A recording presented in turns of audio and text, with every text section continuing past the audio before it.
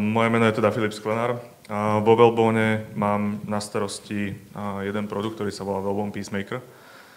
Je to určené pre ISP, je to protektívny DNS resolver a časť z neho, z tohto nášho riešenia vlastne poskytuje aj, teda, aby ste vy, ISPci, boli v súlade so všetkými týmito, týmito nariadeniami.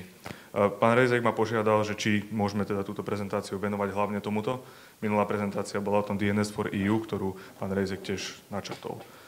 Takže aký je súčasný, súčasný stav? Um, súčasný stav je, že sú tam štyri vlastne inštitúcie, ministerstvo, ktoré nariaduje nejaké blokovanie. Je to SULKL, uh, Ministerstvo financí Českej republiky, uh, Ústav pro uh, štátnu kontrolu veterinárnych biopreparátu a liečiv a SZPI. Teraz pán Rezek to tiež povedal, že sa do toho pomaly pridáva, alebo teda majú draft z 1. septembra tohto roku ministerstvo, ministerstvo kultúry, ktoré chce riešiť teda tie autorské práva, teda diel audiovizuálnych. Zas to bude tiež takýto istý zoznam predpokladáme, bude možno dynamickejší, lebo z týchto, z týchto štyroch momentálne ministerstvo teda zemnedelství a, a veterina vlastne ešte v tom zozname nič nie je. Hej, oni to publikovali, máte to blokovať, má tam niečo byť, ale tam ešte stále nič nie je. My to aktívne sledujeme, máme to no, vlastne pripravené v tom našom riešení, ako náhle tam niečo pribudne, je, my sme vlastne tí, ktorí, ktorí to tam hneď implementujú. Um, dobre, to, bola, to bol súčasný stav. Uh, teraz, čo sa stalo zhruba rok a pol dozadu so situáciou, ktorá, ktorá je na Ukrajine. Uh, tiež to bolo veľmi rýchle, uh, tu v Čechách ste boli promptní, uh, nikde inde v Európe to také rýchle nebolo. Uh, vyšiel vlastne bolo nariadenie e, Európskej rady, číslo teda 2022-350 a, a u vás Národné centrum kybernetických operácií a, vydalo teda dopis a, vládny, kde ste mali blokovať zhruba 8, 8 podľa nich dezinformačných webov. Nebola tam, nebolo tam spomenuté, ako to aplikovať, nebolo tam spomenuté, čo bude, keď to vlastne nedodržíte ani ako, na, na, e, ako popísať, ako riešiť, ako ohodnotiť, či ten obsah je dezinformačný alebo nie. Proste dali to von, a u vás to bolo teda veľmi rýchlo a blokujte to. Hej. Čo? Nikto nevie. Slovenský CERT vydal zoznam stránok, ktorý, ktorý podľa nich, alebo oni to nejako ohodnotili, že tam má spadať, máte blokovať presne tieto stránky. Beriem to tak troška e, teraz retrospektívne, teda potom e, ďalší slajd bude o tom. A teraz, čo sa stalo začiatkom, začiatkom augusta alebo koncom augusta. Záver z tohto celého bola žaloba, že sa to vlastne neblokovalo a malo sa to blokovať a, a čo s tým teda, e, prečo sa to neblokovalo.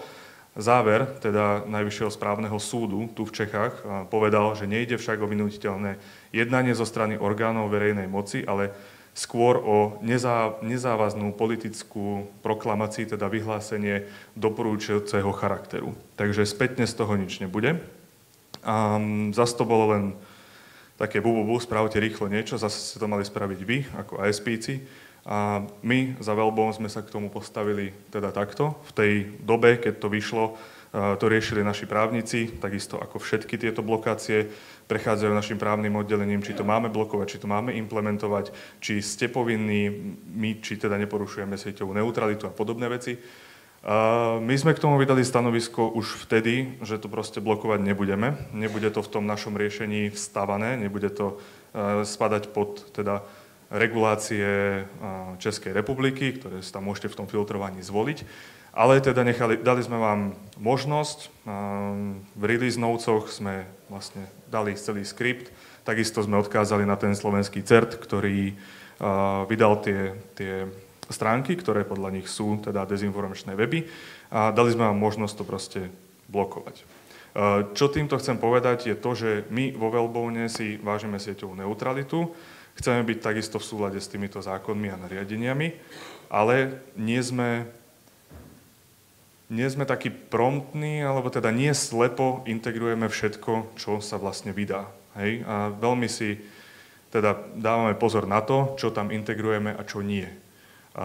Čiže v tomto prípade sme to neriešili, zvolo sa nám niekoľko isp že teda možno by to chceli riešiť, nevedia ako, nevedia čo. Vydali sme na to postup, ale my sme to neimplementovali a boli sme opatrní. Um, či je to správne, alebo to je správne, ja to asi nemôžem hodnotiť, takisto nie, nie som právnik, čo vám viem povedať za veľbou, že vieme byť vlastne v súlade so všetkými týmito, týmito nariadeniami sú tam technické aspekty, ktoré po mojej prezentácii s pánom Rejskom prejdeme, ktoré teda sú tam nejaké úskalia. Teraz len v krátkosti o Wellbone. Nie je to len o tom, že by sme mali integrovanú túto, toto nariadené regulovanie, je to teda protektívny DNS Resolver, kyberbezpečnostné riešenie, ktoré, ktoré teda prináša oveľa viac výhod, než je len byť v súhľade s týmito nariadeniami. Máme vlastnú neurónku, máme feedy, ktoré proste hodnotíme a teda pomáhame blokovať malware, phishing, spam, spam, ransomware a podobne. Pre vašich zákazníkov a taktiež pre vašu sieť. Takto to vyzerá, keď e, si náš ISP, náš zákazník chce vlastne vybrať tú, to nariadené filtrovanie. Pre neho je to jednoducho, kliknem na tento drop-down list, vyberiem si Českú republiku, dám to aplikovať na celú sieť a je to hotové.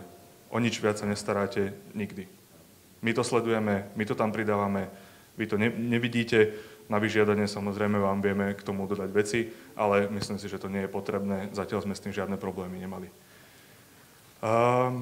to, čo vlastne kvázi nové vo Wellbone, neponúkali sme možnosť prepredávať toto riešenie koncovým zákazníkom, momentálne to ide, taktiež do B2B, a viete zastať našim partnerom a predávať, prepredávať vlastne druhý produkt a tak si zvýšiť svoje, svoje obraty, vaše revenue.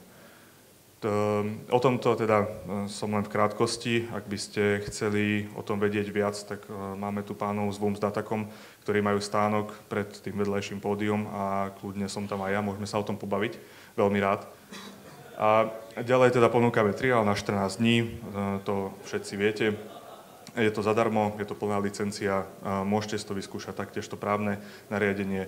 Resolver je rýchlejší, nepridávame latenciu ani s týmto, ani s blokovaním vlastne malvéru, alebo teda webov, ktoré potenciálne vykazujú nejaké, nejaké známky podvrhnutia a útoku.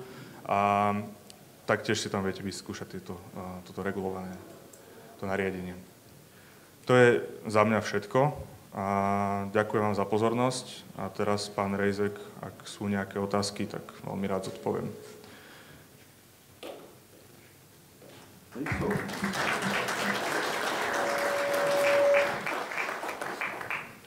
Já musím s tímhle mikrofonem u toho reproduktoru. Moc děkuji za prezentaci.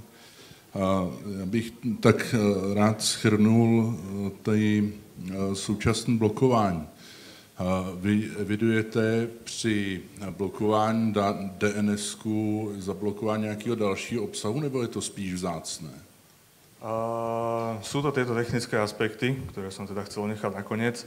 Uh, áno, de, deje sa to. Uh, není to výnimočný prípad, není to, není to len tu v Čechách, bolo to na Slovensku, stáva sa to aj v iných zemiach, aj teraz sa vo veľkom pridáva teda Taliansko, taktiež je to na Filipínach, sú tam iné krajiny, ktoré tam máme, boli, boli v tom zozname, a, ktorý, ktorý máme, ktorý si môžete vybrať.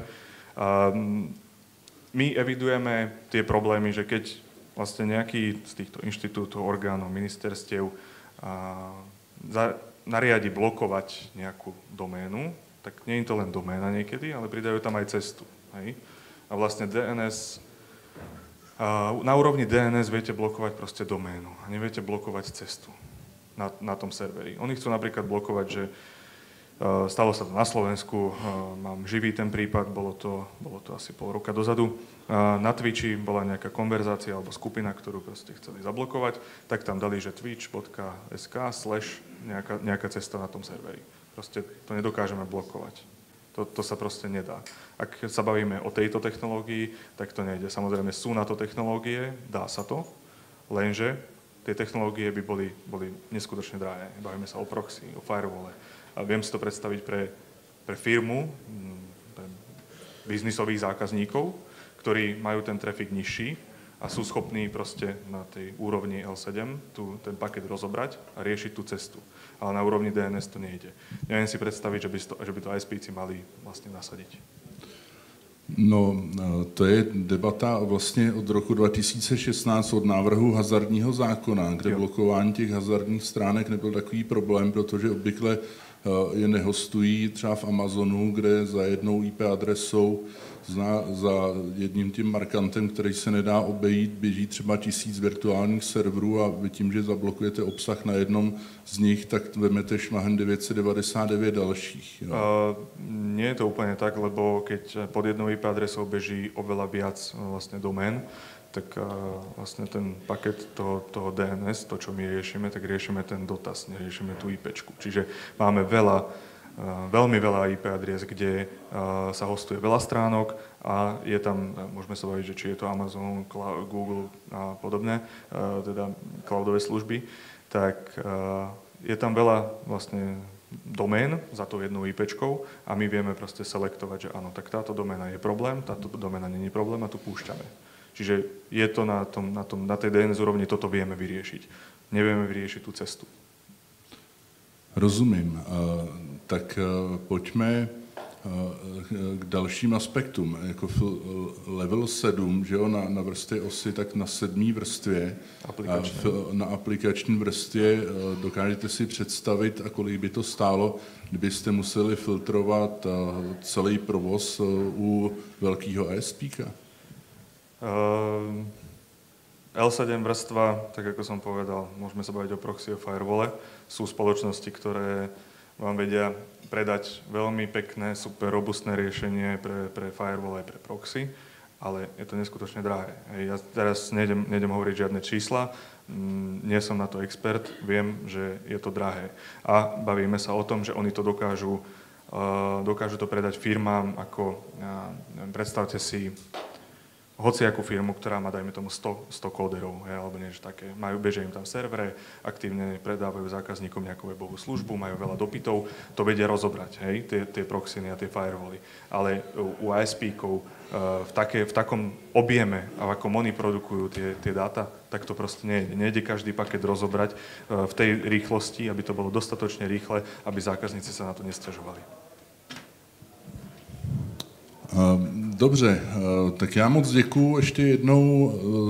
Eh, já právě mě trochu eh, lákají do toho tématu ještě dál a zeptat se, a nebylo by jednoduché to potom obejít nějakým šifrováním ještě i na úrovni DNS nebo šifrování toho provozu, kde by, kde by rozebírat paket na, na sedmý úrovni na aplikační vrstvě stejně za ty velké investice potom šlo obejít nějakou, nějakou metodou prostě šifrování nebo zabalení toho paketu, ale na to tady nemáme čas. Nikdo takovou takovouhle aplikaci ve své síti na sedmý vrstvě nemá. To je prostě záležitost, která se dělá do těch firemních sítí, kde, kde to funguje, kde je to asi nutnost. Pak by ta debata, on říkal Andrej Babiš v debatě o hazardním zákoně, že slušný člověk svůj provoz nešifruje. Dneska, dneska všichni víme, že kdo nešifruje, tak vlastně odezdává svoje data a naopak se doporučuje šifrovat, tak současný stav, prosím nás, kdo se na to díváte, záznamu je takový, že když nám dáte zablokovat nějakou doménu, tak eh, my umíme zablokovat jenom to, co je před tím lomítkem. Co je za tím lomítkem, se zablokovat nedá. DNS to vůbec nevidí. Kdybychom to měli udělat, tak potřebujeme miliardové investice jednou za pět let do těch sítí a stejně to půjde obejít, takže to nemá cenu ani zkoušet. Takže je dobrý se podívat na metodiku, kterou vydalo ministerstvo financí k hazardním hrám, který říká, ano, dělejte to, ale je nám jasný, jsou tam čtyři základní metodiky, ale je nám jasné, že to není stoprocentní. Presne tak, ja s vami súhlasím. A teraz, keď sa bavíme o tom ministerstve kultúry, tak vlastne, keď sa bavíme, že budú chcieť blokovať kvôli autorským právam nejaké, nejaký obsah na tom serveri, tak to proste nebude len Nebude to celá doména, ale bude to zase nejaká cesta na tom, lebo tu sa nachádza nejaká, nejaká nahrávka, nejaký audiovizuálny kontent, ktorý proste na to nikto nemal tie, tie práva proste šíriť to ďalej alebo zdieľať to. Ja som ešte chcel podotknúť, že toto není problém teda len tu v Čechách, je to problém na Slovensku, je to problém všade inde, lebo tie, tie orgány, ktoré proste dávajú tieto nariadenia, tieto zoznamy, častokrát to nedotiahnu do konca, to je prvá vec.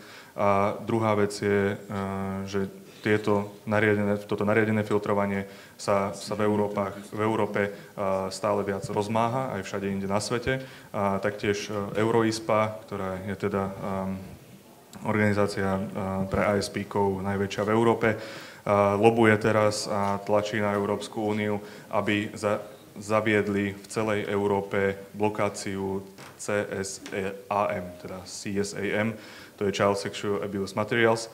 A a veľmi za to lobujú. My teda s Velbonom sme teda na to pripravení. Máme takúto aplikáciu na Filipínach, kde už tento zákon je, táto filtrácia tam beží. Ak to príde sem, vieme to jednoducho proste pustiť, integrovať teda do tohto riešenia aj pre, pre Európu, pre všetky krajiny.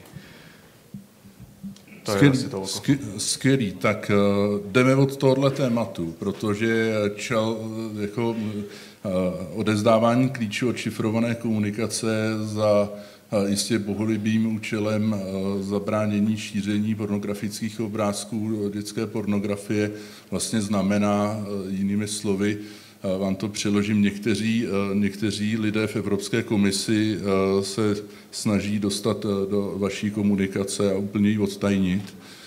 Myslím, že tohle bude velký téma. Už jsem si všiml, že Marcel Kolé z Pirátské strany říkal, že jako špílmachra za Piráty do eurovoleb tohle to ponese.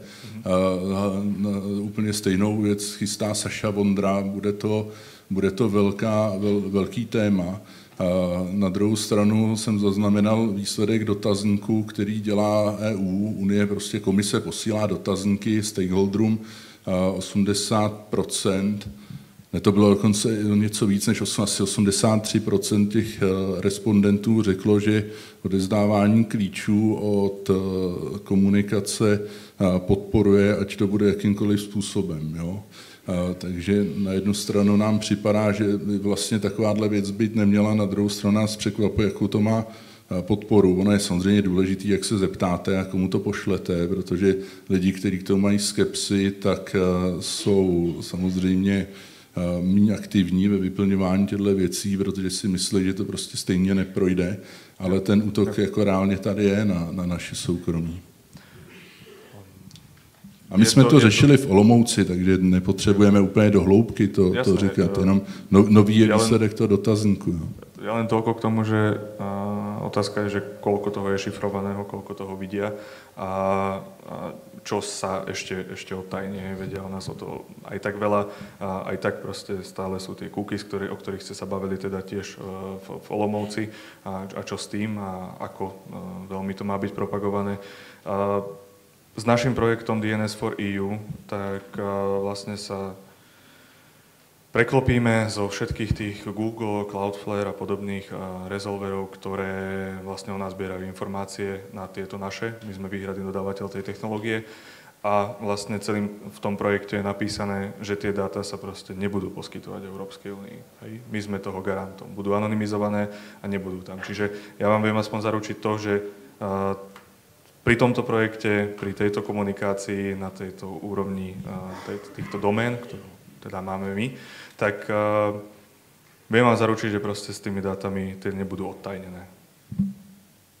Výborně, děkuji ještě jednou a prosím o potlesk Ďakujem za, za prezentaci.